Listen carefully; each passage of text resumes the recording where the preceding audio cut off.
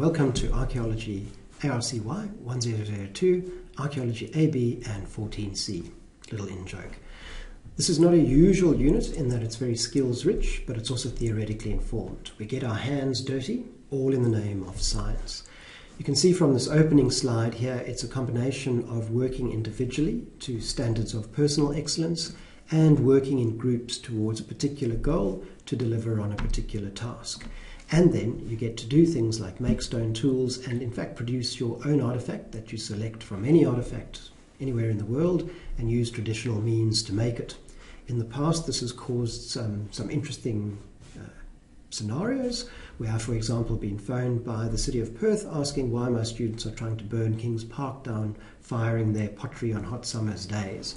But we'll go through all of that, we'll guide you through the process and um, teach you all the safe ways of doing things and how to work with artifacts, how to understand artifacts, and in fact, how to practice like an archaeologist. So, this is represents the first steps of becoming an archaeologist, thinking like an archaeologist, and doing some of the core tasks that archaeologists tend to do. We like our tech, we do a lot of things like play with drones. On the other hand, we use um, trowels from Bunnings to do our excavation. So we're both a practical discipline and an innovative discipline, and above all, you need to have a lot of fun. Before I go on, it's important to acknowledge that we're on Noongar Whadjuk land. The land has been looked after by people a long time before we came. This unit will help us explore elements of this landscape, but it will range widely throughout the world and throughout time. In terms of who we are, um, we tend to work in groups a lot, um, different kinds of groups, all sorts of stakeholders, indigenous stakeholders, industry stakeholders, other academics, members of the public, schools, and so forth. And we also have to work individually um, and be self motivated and, and, work to high degrees of competence. So it's um, exactly what employers want. They want graduates who think critically about the world, who can think their way through problems, who have a series of cognitive skills and a series of practical skills. So this is a, a work integrated learning unit and it'll do you a lot of good to have it and you'll have a lot of fun with the people around you and by yourself. So who's giving this unit? There are three of us. So for all the unit and academic matters, please contact myself. My name is Sven Ouzman. I'm one of the archaeologists at UWA Archaeology and Centre for Rock Art Research and Management. I've been doing archaeology for quite some time. Um, Uh, over 25 years, and I'm very happy to share some of my experience with you and, and to learn some new things together with you. And I'm very ably assisted by Ariane Maggio and Jessica Simmons, who are two tutors. They're both postgraduates studying for their PhDs in forensic anthropology, and they've also done archaeology, so you get a lot of value from their knowledge as well. For all the sort of administrative matters, such as which tute group you're in and those kinds of things, our hardworking social sciences and student services staff are available in social sciences building, so they're one floor below us. So between the two of, of those two groups, um, student services and ourselves, um, we've got everything covered. Any problems in that, please come to the tutors or myself.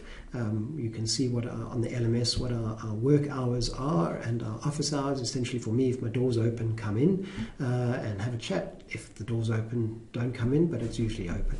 And I enjoy um, I enjoy it when you come in and have a chat. All right, where does all this happen? So we have a number of locations across campus. So every Tuesday, 10 to 12, we have our lectorial. It's a combination of a lecture. There's a little bit of traditional lecture component, and then there's a series of interactive activities that the class does. And this happens over here in Maths G18. And on the same day, Tuesdays at various times, we have three tutes. So the first tute group at 12 to 1 is here in engineering on G11. The second tute group is from 3 to 4 is in psychology in G40. And the third tute group is in social sciences G25, and that's 4 to 5 on a Tuesday. Some days we'll be going to these classrooms for the tutes. Generally, we'll have one tute where we explain something like stone tools and how they're made, and then the next week we go and put it into practice, and we put it into practice at one of, of our two experimental farms. So, this is where, for example, we'll make stone tools, work with wood, work with clay, do those kinds of things, work with compasses, fly drones, all of that kind of thing.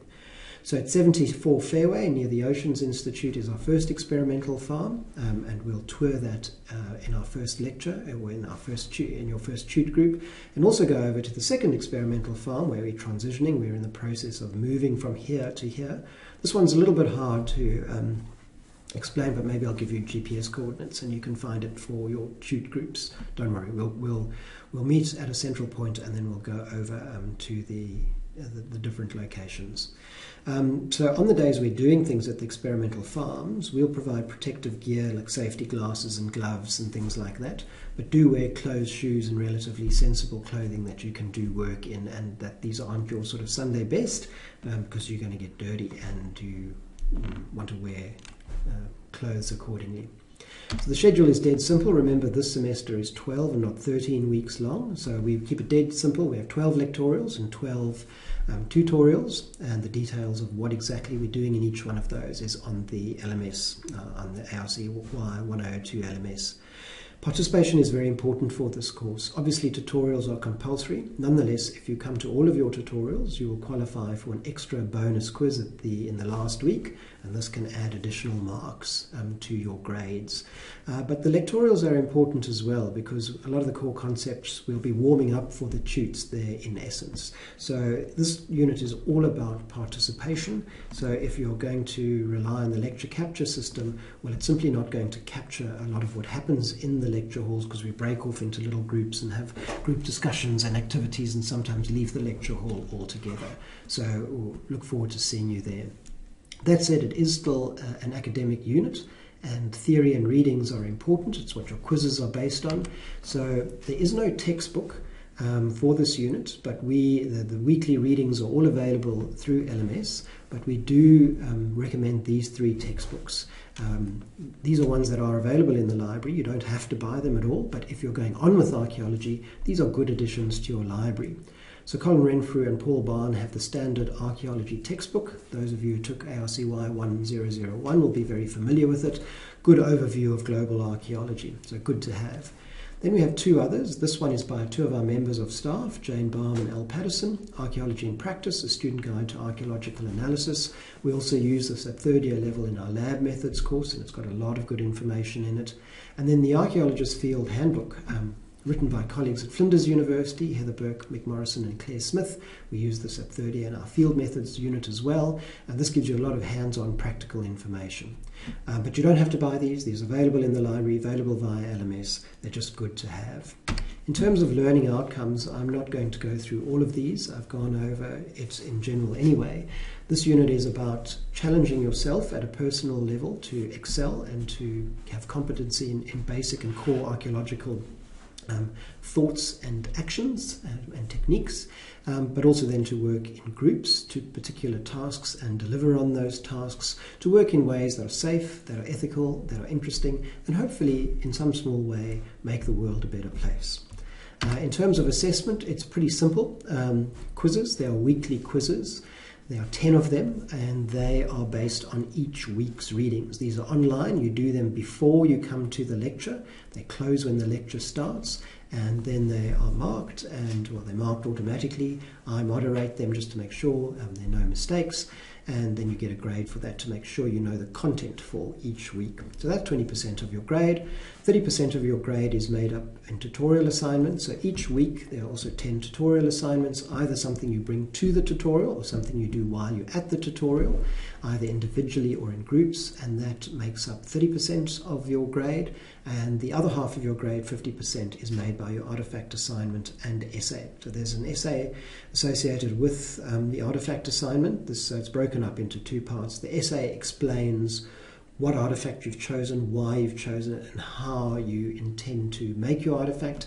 And then there's your final artifact, um, which you produce later. So the, the essay is, I think, due in week six. Again, it's on LMS. And the final assignment in week 12 the final assignment is the actual artifact with a short document or video diary explaining how you made um, the artifact. I am thinking of adding another assignment, which is essentially designing a new experimental farm. A lot of fun in which you get to design a TARDIS type experimental farm, but I'll let you know more about that um, in our first week. All of this works towards, for example, a class prize. You're a fairly large class this year, so it'll be competitive. Um, but for that reason, it's worth even more, and it looks really good on your CV if you're the best student in the class. By best, we put three quarters of that is based on academic performance, and a quarter based on your contribution to the group and the life of the unit. So you get a certificate and a book prize and a mention in your CV. So nice. In terms of unit support, we want you to both do well and be well. So the LMS has all your course content on and the links to various resources and those kinds of things everything you need academically. We are very nicely supported by the library, where we have great librarians like Chloe, um, who's a subject specialist librarian and can help you with your searches, particularly things like how artifacts are made. Some of those references can be a little tricky to find. And then there's student services that help you both with your academic endeavors and in your personal life. So we want you to do well and we want you also to be well. Second semester, particularly towards the end of second semester, gets really busy and we want you to look after yourself. So make use of that unit support. Other support is internal um, from archaeology. We've got three um, Facebook pages the Archaeological Society of WA, the Centre for Rock Art Research and Management, Archaeology, and actually a fourth from this year, the Centre for Forensic Anthropology.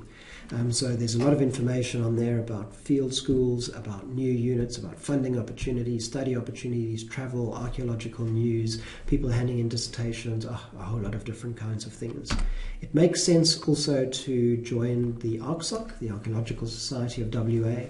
Student organisation goes to archaeological sites, gets experts in to give talks, has movie nights, eats pizza, drinks beer and coffee, and that sort of thing. Um, really nice, supportive um, environment, so do join them. 10 bucks a year, why wouldn't you? Nationally and internationally, there's support. So, nationally, we have two major organisations the Australian Archaeological Association and the Australian um, Association of Consulting Archaeologists. These are the professional bodies that govern how we work, the ethics, the practicalities, legislation, all of those things, um, national conference, and you can also join those even as a student. We have weekly seminars every Thursday at 4 to 5. Everyone is welcome to join, learn about interesting things, see who the staff and students in the department are, extend your networks, and there's often a social event after those. So, in sum, this is a, a pretty fun course. It combines theory with hands on practical skills. We range around campus, we build fires, we bash stones about. Um, we try and get into the minds of the people making artifacts way back in the past you get to select an artifact from a funky period in history. And don't worry if your artifact doesn't look good. As long as you've used traditional methods to make it, you can get a distinction even if your artifact sort of falls apart at the end. We're not expecting perfection. People are not used to working with their hands these days, but it's a very good way of doing experimental archaeology to understand how people worked in the past and to try and get into the minds of those people who worked into the past. So I'll see you soon um, in class and in the tutes. The tutors and I will introduce you to the local archaeological community. We'll introduce you to how archaeologists think and work, and we'll have a whole lot of fun um, on and off campus. Also on the slide, I've just put some of the other archaeological units on offer, so you might be interested in those. Um, there, there, are a lot of interesting things. Do go to the LMS for the full gory detail. So, for example, when I call it up Oh, I thought I had called it up. Never mind. We'll use the very quick steam-powered internet of UWA. So UWA Uh, there we go. Now you'll see a very slightly different interface uh, because I am staff, um, but it's not very different. So we'll just call up 1002. Uh, yes, I agree and continue. I've got very, I've got a lot of units I teach, but there's this one. So over here, the Noongar for hello, and here you have all of the different um, um, bits of information about the unit. So the unit outline, this year you get taken through to this automated thingo which gives you a whole lot of detail about the weighting, what's happening each week, all of those different kinds of things. You can see there we are, the staff, um, where the times and locations are. Some of this I've already showed you on the thingo the lectures and tutorials, the unit readings, uh, the different kinds of assessment, all of those kinds of things. So um, hop on to this. The unit outline is where everything is in one place.